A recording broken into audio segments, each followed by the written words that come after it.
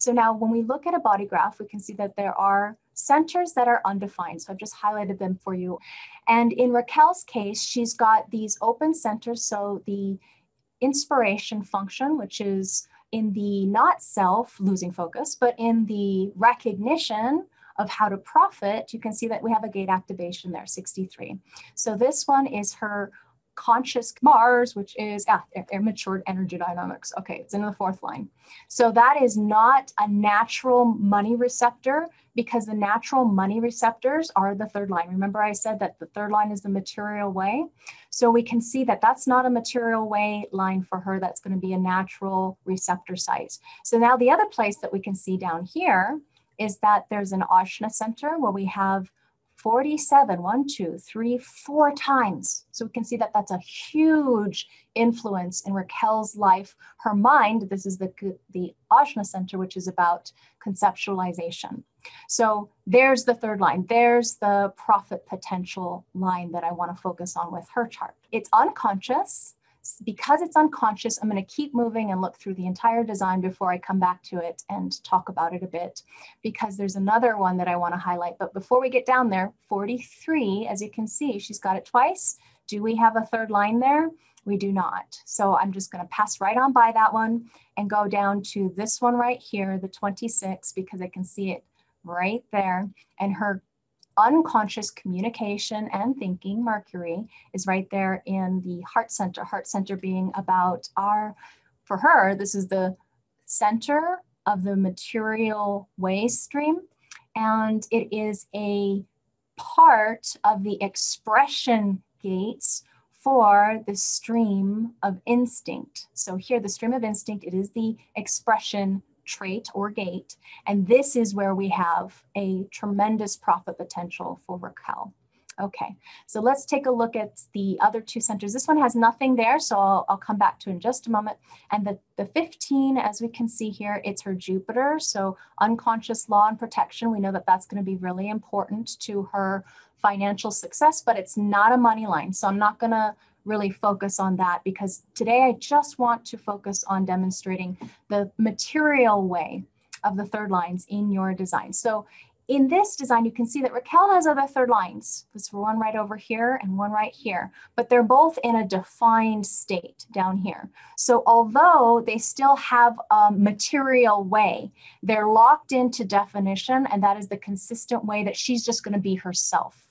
Where we have openness, where we have potential profiting is where we learn wisdom. And the places where we learn wisdom are in undefined centers. So, in order to develop wisdom, we have to have unattached observation of the openness. Unattached observation of the openness means that you do not misidentify with the openness as reasons for making a decision. In Raquel's case, she's designed to respond over time and have emotional clarity dictate the choices in her life. So, like I did last time when we um, introduced this subject to you in the series, I want to remind everyone that if you do not follow your strategy and authority, the things that I'm telling you about can mislead you and take you off track if you make choices from these places. Oh, Laveena told me I'm supposed to make money with this, so I'll just go do that rather than wait for the response and the emotional clarity. Okay, so just a reminder here we're talking about Raquel's material way, and because this unconscious Mercury is in the material way stream itself, we're going to really focus right here. But I said I was going to come back to here, and this is the, this, the place I want to begin because what happens in a totally open state of the body graph. In the totally open state where the body graph is undefined, you can see here very clearly that there's no gate activations and there's no channel definition that creates a consistent function here.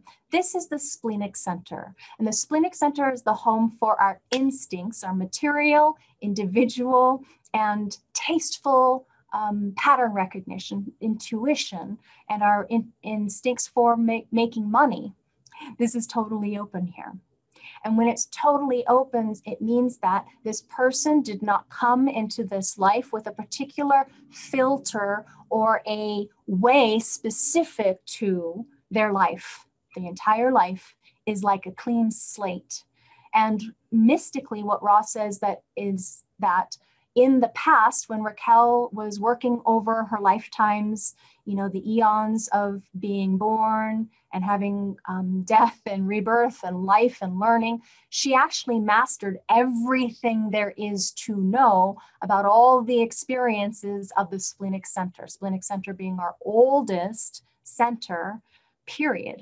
That is an awareness center that is going to allow us to learn about the physical, tactile, material way of being a mammal. And here, as a human, we are now uh, experiments of consciousness and form, self reflected consciousness, because we, besides just the mammal design, we now have a mind construct that is self reflective.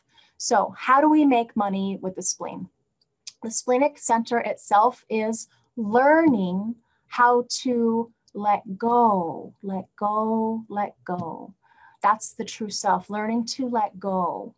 The let go of the fears for our survival, the let go of having to know intuition wise and taste wise everything about anything that has to do with the physical, mundane reality, making money, uh, taking care of others, you know, supporting the tribe, all kinds of things that have to do with your physical, tactile, human experience of being in a body.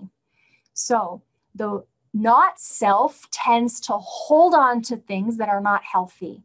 And Raquel is achieving her PhD in this life of now learning to let go of anything that is not healthy. So, what can she do as far as the material way is concerned? Is help people learn how to let go. How can we let go of those fears that overwhelm us? How can we let go of those fears that terrify us? These are some of the things that she's dealt with her whole life. So that's any place that we have, I'm going to go, go back to cleaning this up, any place that we have a totally open center it's our deepest area of conditioning. And yet, on the flip side, our greatest area of potential wisdom. So, as an example, between myself and Raquel, we often find this is the case. What happens is people are attracted to difference. In my design, I have a 32 and a 44 and a 21. And this is again the stream of capitalism. So, one of the pieces that I bring into in my advising of Raquel here I have a 23 that also helps support in her design uh, the empowerment of her in her life process. What happens is in the dynamics of us with an other, we learn about that channel, that life force. And this is inconsistent in her design as well as mine, but together we now have a stream that can make money, that can profit if it's in alignment between her recognizing and inviting me. She is a manifesting generator. And both of us being emotionally clear, me on who she is, her on who she is for herself, because that is the dynamic of how the mechanics work between a projector and a manifesting generator. Okay, so we're looking at somebody who can teach others to learn to let go because she herself has perhaps made the mistake. Remember, the third line is the material way. We learn through trial and error, made the mistake of holding on to people that don't serve her. Not only people, but places as well. Not only places, but maybe jobs, because this is about jobs. This is about work right here. Yeah, stream of capitalism. So, how do we let go of those conditioned habits thinking that we have to, must, should in order to ensure our physical safety and security and our material well being, because those are wisdom potentials for her. So, again, in correct alignment, when she's operating as who she is for herself, because she is emotionally clear, these things such as the material success in one's life, is going to naturally flow in alignment. And when you let go of trying to control your life, Raquel, Your life is perfectly financed, to quote Ra. Woohoo. So, what happens with the 45 particularly is that the 45 thinks it has to control. Okay. And that's the not self or the uh, learning specific to Raquel's openness in this design that she's here to uh, recognize and to learn in profiting. So, again, here we're talking about a different profit potential. Back to this really important one. This is the Mercury, our communication and thinking, and you can see it's in the third line, and that is a material way line. Now, anytime we have anything in the unconscious activations, over here on the left hand side of the body graph, anything that's unconscious to the conscious personality. We do not have conscious recognition of how this comes out until after the fact. So now that we've told Raquel, hey, can you recognize that your unconscious communication, sometimes, you know, you have this capability of reframing things for people. This is a memory control gate, the 26 is, because this is part of the memory circuit as well, this, these activations here. So the control of the tribal memory in order to support material well-being and success. This is where Raquel has a lot of profit potential. So as an example, um, I find that people who are really into um, hypnosis will either have this or the other side, the 44 or the 26. And I know from Raquel's experience that she actually did go to a hypnotherapy training school amongst the other certifications that she has. So in reframing the way someone's memory works, she can help support that person to feel better about what? Their own self-esteem. So 65% of the population are undefined here in the heart center and approximately 50% in the splenic center. So as far as looking at the body graph, again, remember, if your body graph was a business plan, these undefined centers are places of potential profit, profit centers, okay?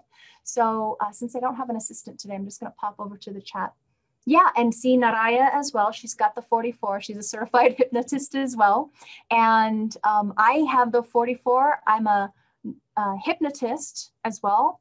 My, my husband has the 26. He's a hypnotherapist as well. So it's just something that I've noticed, uh, either interest in that or interest in past lives. Because remember, the 44 is fear of the past. And this is the instinctive smell potential of not only our own physical past, like, you know, childhood smelling, you know, grandpa's cologne or grandma's fresh baked cookies, but also genetically speaking in your cellular memory cellular memory right there back in you know down our um, genetic line our physical genetic line so the, this is something that she's going to have an unconscious interest in. And if she's passionate about that kind of reframe in support of the tribe, what she can do is a profit potential. The undefined heart center does not know its own well being as far as its physical, um, supportive nature of its ability to have self esteem and self value and self worth.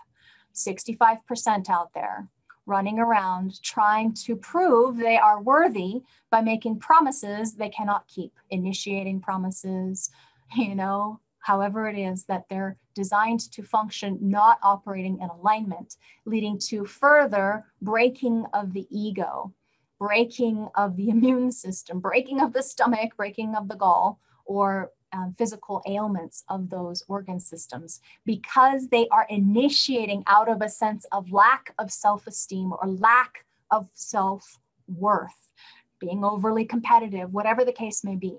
So, Raquel, as far as your work with others, if this is something that you find that you really enjoy and are passionate about. And I say that because a manifesting generator must do what they have energy for. And this is about who you are for yourself. It's not your life in service to others, but what brings your, your life, the desire of your felt sense of your imagination that is an innocent nature of who you are for yourself. And I say innocent because Raquel is a sixth color underneath innocent motivation. In doing who being who you are for yourself in response and with emotional clarity over time, it may be that these activations here are going to be helpful. Now, let's continue on in looking at undefined, just real briefly, but not from a third line perspective. Undefined G, people are able to reflect others. And this is part of where she has part of her law and protection to be accepting of others' extremes. So, not about knowing who she herself is, but being able to reflect others when they're in her aura and be wise about love, particularly, and of course, wise about direction, the identity of who others are. So, that is something that she can also um, profit from. Roles what are the correct roles for these other people? when they're in her life through response and emotional clarity to be able to help support others with not only their self esteem, but their identity. Okay, as far as what's going to be healthy to let go of in this life rather than trying to just do things for the money because it's money isn't everything, but to do things because we are passionate about it because it's what we have energy for one thing that I notice that people do, particularly generators who um, maybe have had long-term conditioning, and I know that that's something that Raquel has told me about on, over the lifetime.